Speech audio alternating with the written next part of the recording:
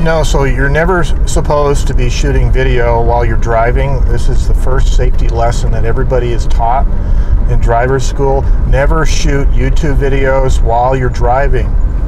So I'm heading down to run an errand, and then I have to go over to an office supply store. Isn't that cool?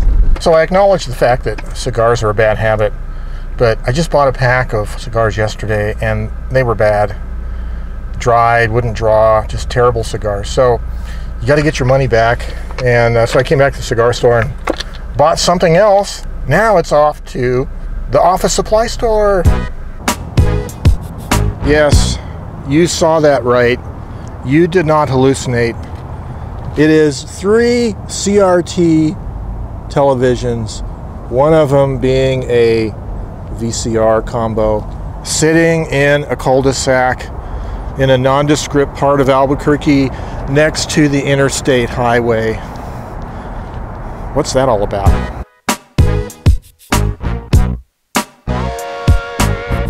Is it an open Office Max or is it a closed Office Max? Is it another closed office supply store? Well, so my errands took me down to the University of New Mexico area, and uh, it's most notable in my mind right now for the fact that there were several office supply stores in that area that are now closed and gone.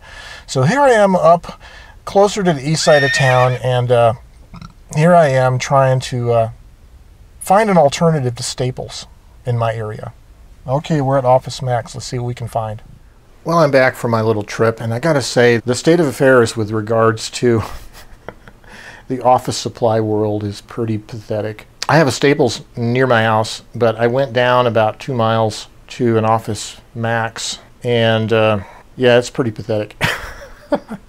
How to describe this? Well, let's see. There's a pretty good supply of kids' school supplies, and you would kind of expect that this summer. And then all the backpacks and phone chargers and junk for older kids. And then, you know, you have printer supplies and those kinds of things. Some pens. I mean, there's a bunch of pens, but they don't have anything like, you know, the Bic Biro. Bic Biros, medium blue, even black or whatever, they don't have any of those, either at Staples or this other store as I was driving and to there and back and thinking about it, I was thinking, you know, we live in a silicon culture, right? Digital electronics, microprocessors, silicon based, and silicon is made from dirt, from rocks, from stones. So we live in a stone age, actually. We live in an age where people are getting more and more illiterate, uh, at least uh, from my perspective.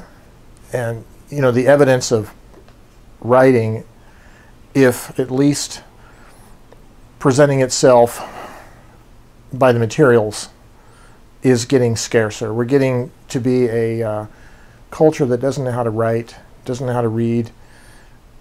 There's plenty of writing supplies for school kids in these stores, but when they become adults, they won't be expected to write anymore. So, anyways, I got I came home with a box of file folders that my wife needed, and that was it it was kind of a pathetic little trip and not even anything worthy of Confessions of an Office Supply Junkie, which, by the way, I couldn't really film inside the store, even if I wanted to, because of the Muzak on the overhead speakers and YouTube and the copyright thing.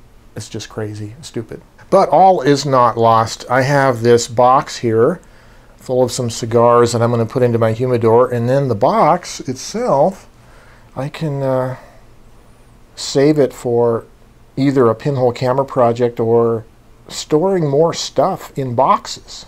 Well, let's see what these stogies look like. Huh? Oh, yeah. Can you do cigar unboxing videos on YouTube? Oh, okay. Well, these look pretty nice. Each one is in a little tube. Huh. Well, pretty sweet. I think I'm going to stick these in my humidor and uh, see what happens. Okay, so here's a parenthetical thought. Cigar box, right? Um, how many times have you seen or heard of a parent or a teacher going to a tobacco store to get a cigar box for crafts for their kids? And these are the same parents and teachers, of course, that teach their kids not to smoke. What's that all about? Symbiotic relationship between school craft projects and tobacco sales. We used to glue macaroni noodles to these boxes. Not the fancy ones, but like the cardboard type cigar boxes. And then spray paint them gold and take them home to our moms and say, hey, I just made you a jewelry box. Hey, one other thing. Uh, when I was making notes in preparation for uh, episode 113 of the typewriter video series, which uh, is posted today, I was uh, writing those notes on uh, Adobe Rose, right? My Royal Quiet Deluxe, and um, typing it onto that roll of thermal paper, eight and a half inch wide roll of thermal paper. But look at this. Uh, I got a bunch of uh, a bunch of notes typed, and do you notice how dark the imprint is? so if you missed that video from a week or two ago, I'm typing on the back side, the non-thermal side of thermal fax paper.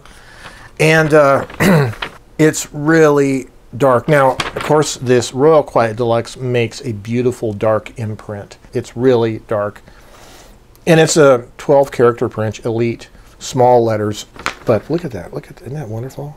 So anyways, I typed all these notes out for my, my video with the idea that making it a little bit more scripted in the sense of having something written down that can direct my thoughts so I'm not just rambling incoherently and randomly. This also means I'm going to uh, photograph these notes and put them on my blog. This is this becomes a blog article, not just notes for a video. Okay, that's it for me for today. I'll see you guys next week. You have yourselves a great day.